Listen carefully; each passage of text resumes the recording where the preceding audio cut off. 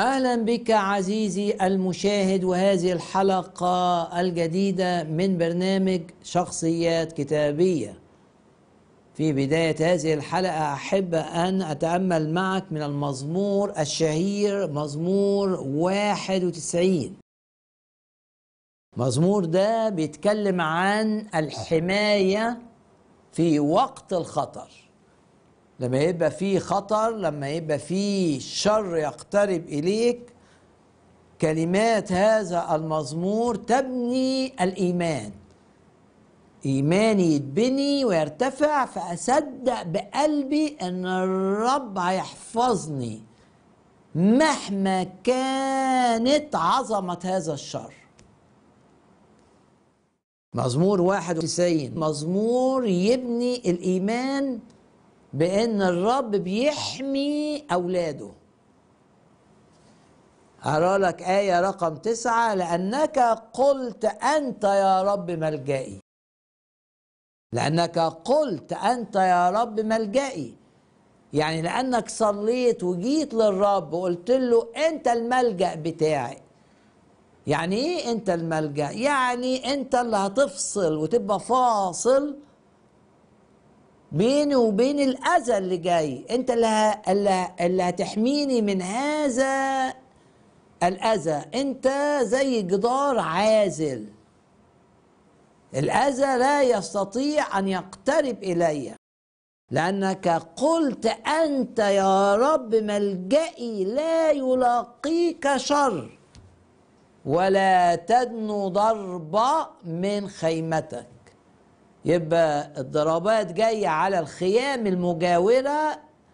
أنا عشان صليت عشان لي علاقة حقيقية مع الرب علشان أنا تبع الرب وعشان أنا بحترم وصايا الرب.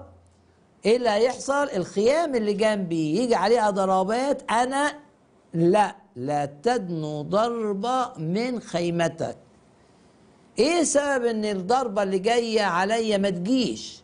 واللي جاية على الخيمة اللي جنبي تيجي عليها وأنا ما تجيش. إيه السبب؟ إن الرب هيستخدم الملائكة لحمايتي. لأنه يوصي ملائكته بك لكي يحفظوك في كل طرقك. وطبعا في كل طرقي اللي هي بحسب مشيئة الرب. أنا لو مشيت بره مشيئة الرب بمزاجي عارف إن الرب عايزني مثلا أروح المكان ده وأروح أنا مكان تاني خلاص الرب مش هيحميني. لكن طول ما أنا عايز أمشي في طريق الرب هو يحميني مية في المية. لأنه هنا بيقول كده يوصي ملائكته بك لكي يحفظوك في كل طرقك. يعني طالما أنا ماشي في سكك الرب طالما أنا ماشي في مشيئة الرب طالما أنا ماشي في سكة مش بهدف إن أنا أعمل خطية مش بهدف إن أنا اسرع أو آخد حاجة مش حقي. طالما أنا ماشي في مخافة الرب مخافة الرب في قلبي طالما مخافة الرب جوايا وطالما أنا عايز مشيئته بقول له ما تخرجنيش بره مشيئتك ما تسمحش إن أنا أخرج بره مشيئتك ابدا. فالرب يبعت ملائكة ترافقني وتحفظني لأنه يوصي ملائكته بك لكي يحفظوك في كل طرقك عزيزي المشاهد هل لك علاقة حقيقية بالرب يسوع؟ تقول لي آه. أسألك السؤال الثاني هل تثق أن ملائكة ترافقك وانت رايح الشغل وانت مسافر هل انت واثق ان في ملائكة ماشية معاك عشان تحفظك من أي خطر مفاجئ يظهر في الطريق؟ هل انت واثق في هذه الآية لأنه يوصي بملائكته بك لكي يحفظوك في كل طرقك وبعدين يقول كده إيه؟ على الأسد تطأ على الأسد تطأ على الصل تطأ. يعني تدوس على الأسد الأسد المرعب. تدوس عليه. تدوس عليه لأنك مسنود بالرب. لأن الرب هيعطيك القدرة إنك تدوس على الأسد إنك تدوس على التعبان. الشبل والثعبان تدوس. التنين تدوس عليه. يعني إيه أطأ؟ ويعني إيه أدوس؟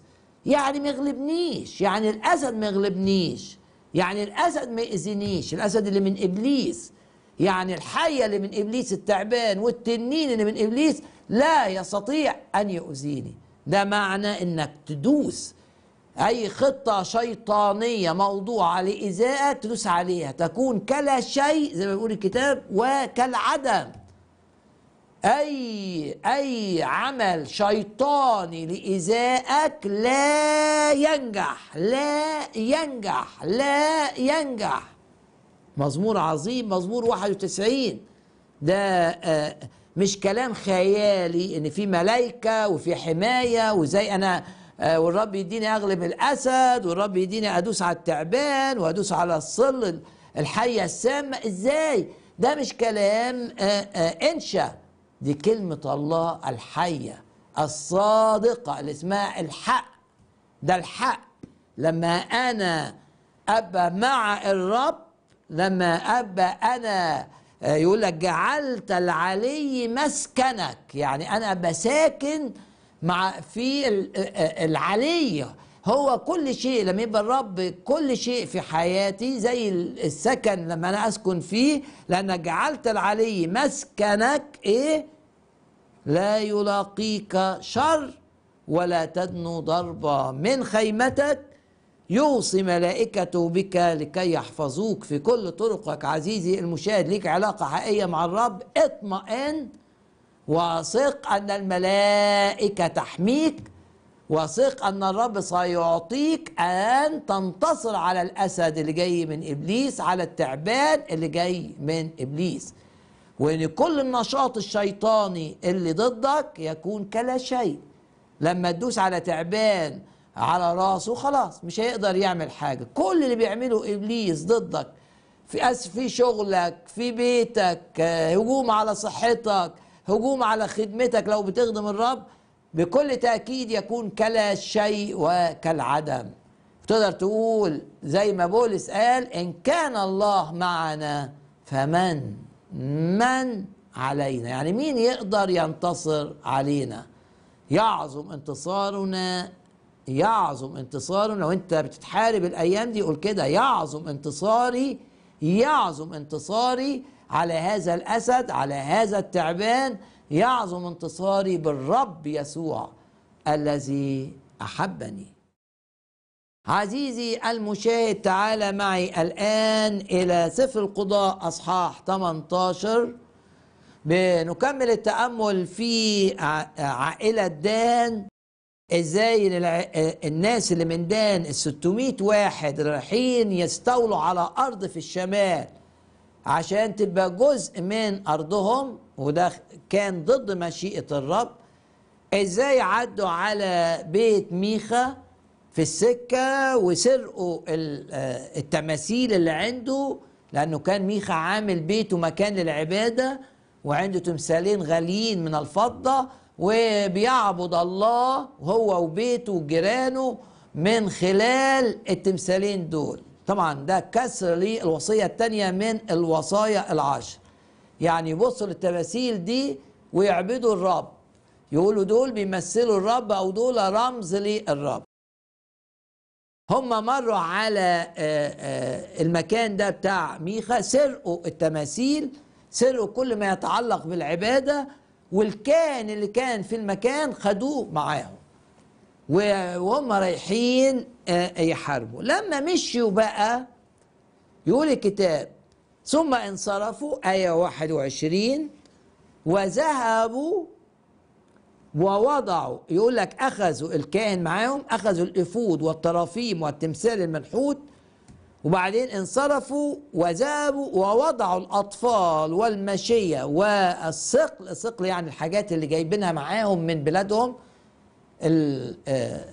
ما يمتلكونه الحاجات اللي عايزينها. دي اسمها الثقل يعني حاجة تقيلة. حطوا كل ده قدامهم. وهم 600 ورا. يعني مشوا قدامهم الأطفال الماشية. أطفالهم الماشية ال- آه، والأحمال بتاع اللي واخدينها اللي رايحين بيها قدامهم. وهم مشيوا من ورا. آية 21 ليه عملوا كده؟ يعني ليه حطوا الأطفال والماشية قدام؟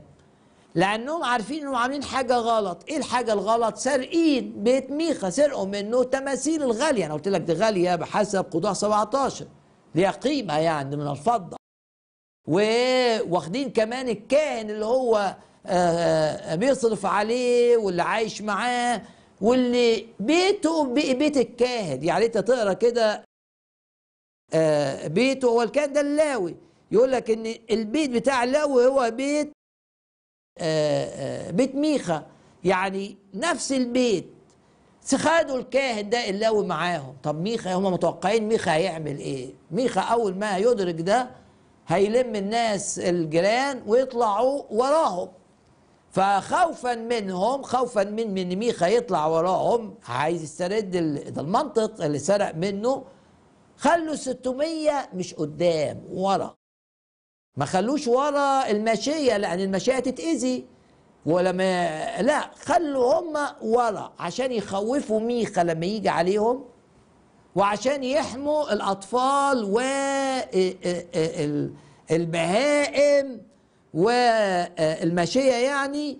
وطبعا محطوط على الماشيه تماثيل التماثيل هيحطوها على الماشيه وماشية بيهم. هنا عزيزي المشاهد آه، آه، آه، ال- ال- ال- الجزء ده يفكرنا بالجزء اللي مكتوب في أشعياء 46 في أشعياء 46 نفس الشيء.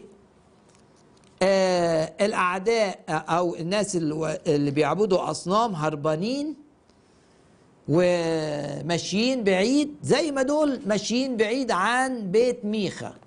وبعدين هنا الوحي بيقول إيه؟ حطوا التماثيل بتاعتهم على الحيوانات والبهائم. وهم ماشيين. المع... يقول يقول لهم محمولاتكم محملة حملا للمعية. يعني إيه ده؟ ده أشعياء 46 عدد واحد. يعني التماثيل دي والطرافيم ولما اتحطت على الماشية لأنها تقيلة.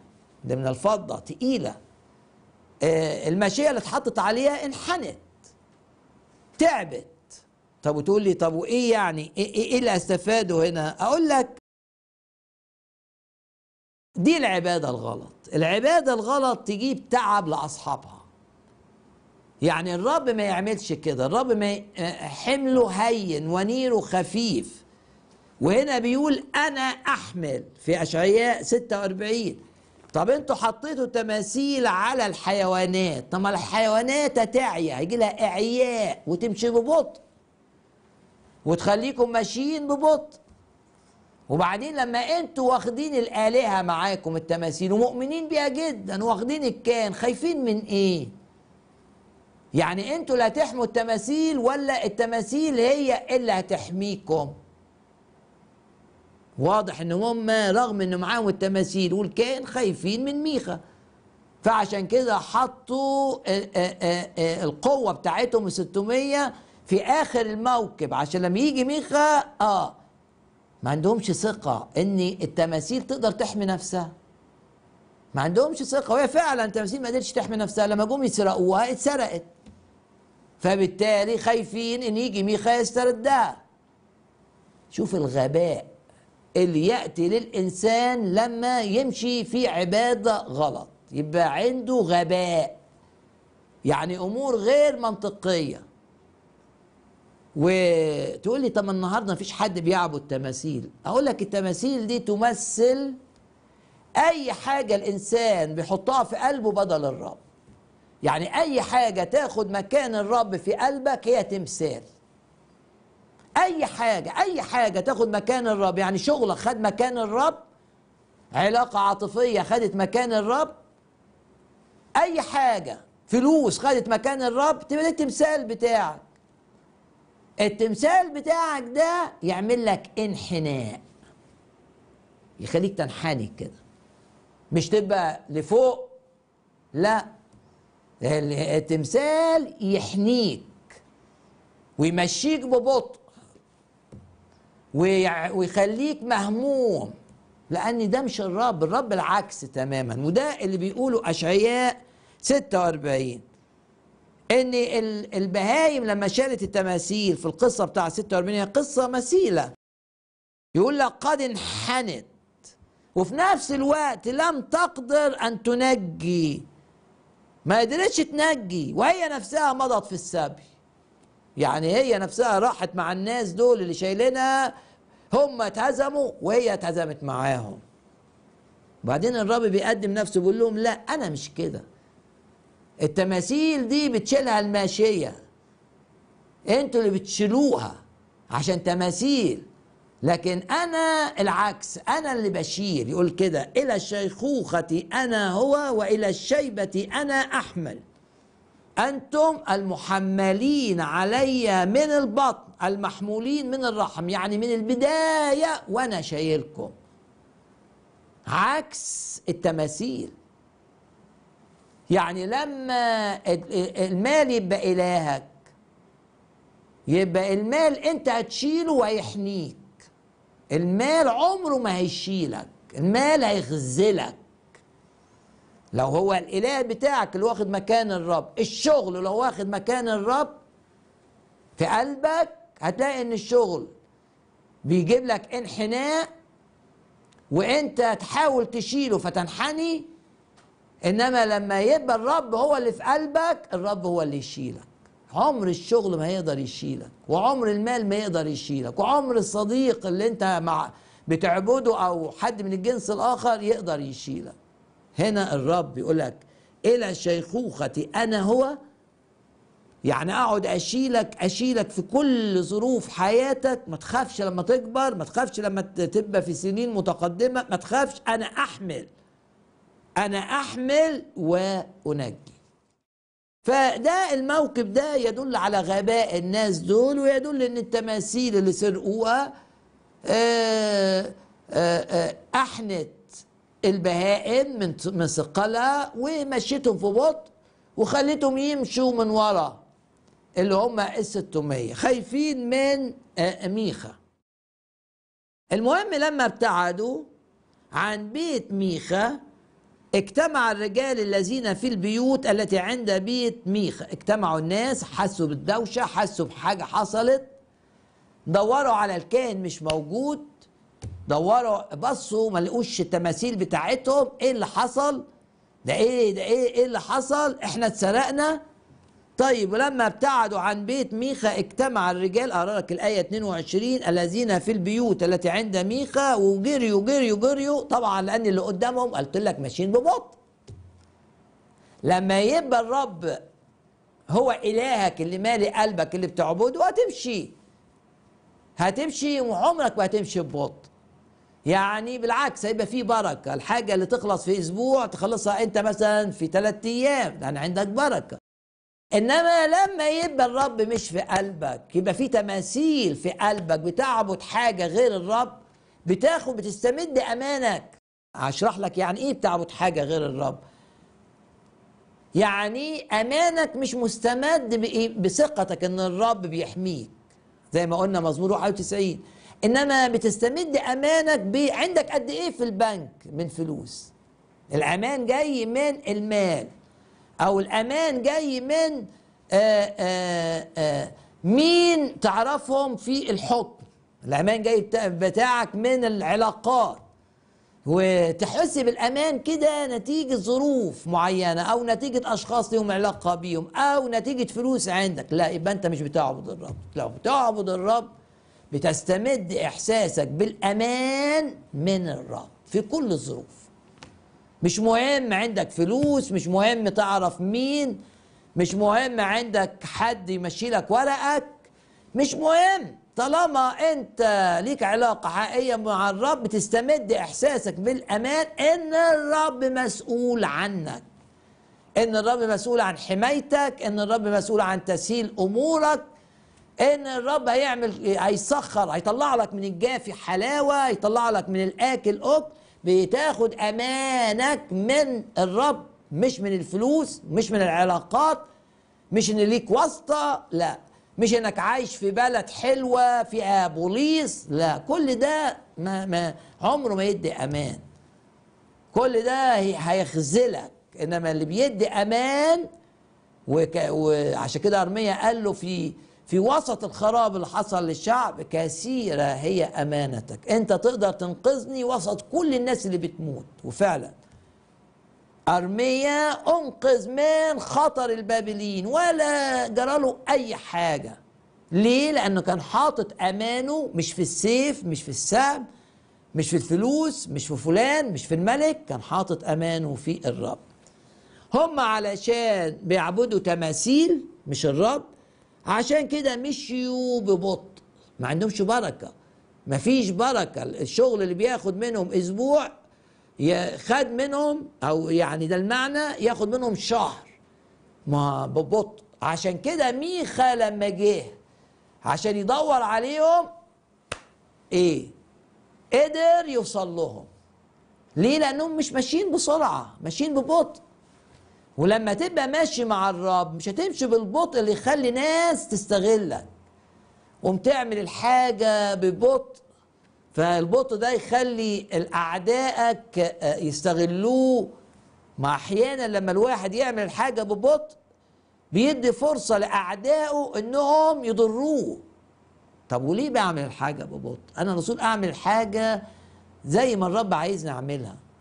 يعني أعملها لا ما أعملهاش باندفاع وما اعملهاش بتسرع و آه، ويبقى في رعونة نتيجة التسرع إنما لا أعملها بنشاط وحماس وأشوف بركة الرب في اختزال الوقت في إن الوقت يقل.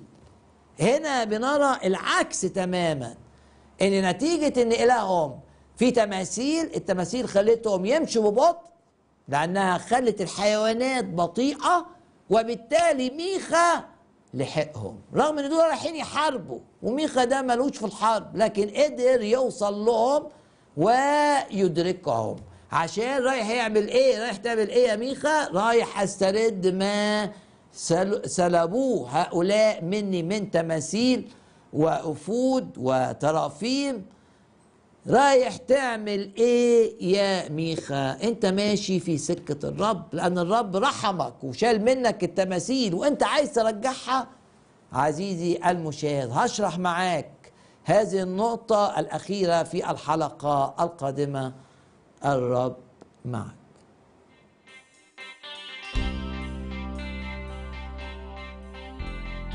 إلى كل أحبائنا المشاهدين نقدم لكم كتاب لا دينون الآن هدية مجانية من خدمة أنهار الحياة عند تلقي مراسلاتكم. هيا اكتبوا لنا اليوم دون تأجيل وشاركونا بتعاملات الرب معكم من خلال البرنامج أو بأية استفسارات أو طلبات خاصة نصلي معكم من أجلها. راسلونا على البريد الإلكتروني mail at pastordaniel.org أو العنوان البريدي أنهار الحياة صندوق بريد 3030 الحرية هليوبوليس القاهرة جمهورية مصر العربية أو Rivers of Life PO Box 433 Greenford UB5 9BJ UK أو ارسلوا لنا بريدا صوتيا أو رسالة اس ام على 012 2 577 88 وأخيرا ندعوكم لمتابعة ما يقدمه موقع خدمة أنهار الحياة الجديد باستمرار على www.pastordaniel.org الرب معكم وإلى اللقاء في حلقة جديدة من برنامج شخصيات كتابية.